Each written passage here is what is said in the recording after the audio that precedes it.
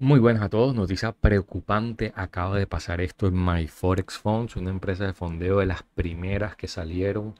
Les muestro el mensaje que está en este momento.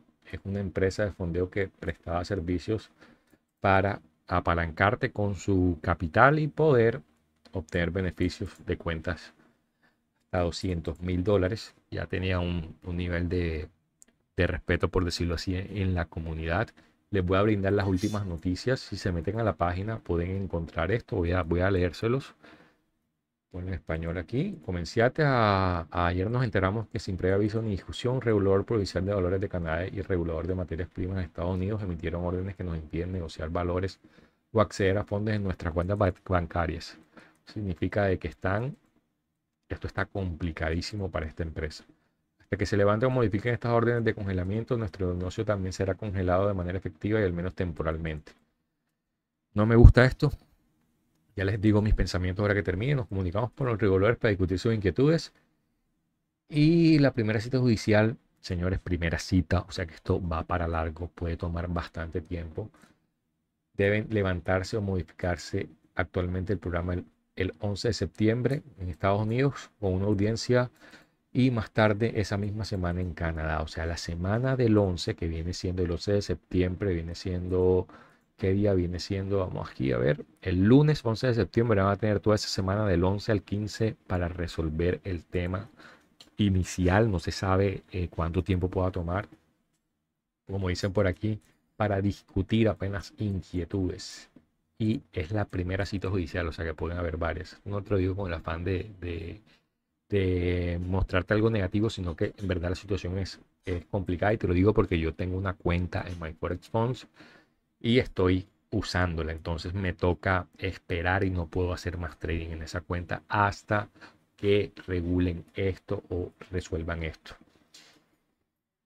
Eh, ¿Qué les digo a las personas que están fondeadas, muchachos? Nada más hay todo, nada más. Lo único que tienen que hacer es esperar y esperar mínimo mínimo hasta el 11 de septiembre, porque no hay más información. Eh, con respecto a esto, yo entro al Discord de la compañía y han cerrado, han cerrado, por lo menos han, han cerrado el tema del chat, que lo quitaron, que soporte, quitaron esto, escribieron esto.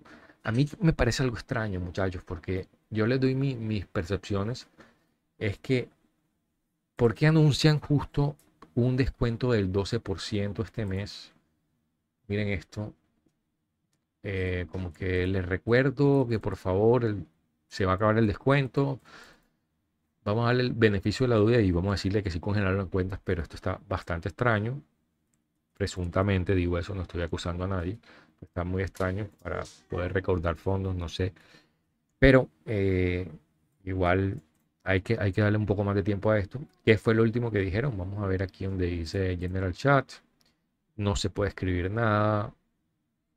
Están diciendo esto. La gente está cansada de que, estas cosas pasen, pero están, eh, eh, hay la posibilidad de que muchas empresas de bondeo puedan quebrar y que esto sea un efecto dominó para otras que puedan ser reguladas. Miren todo esto, la gente creo que no alcanzó a escribir mucho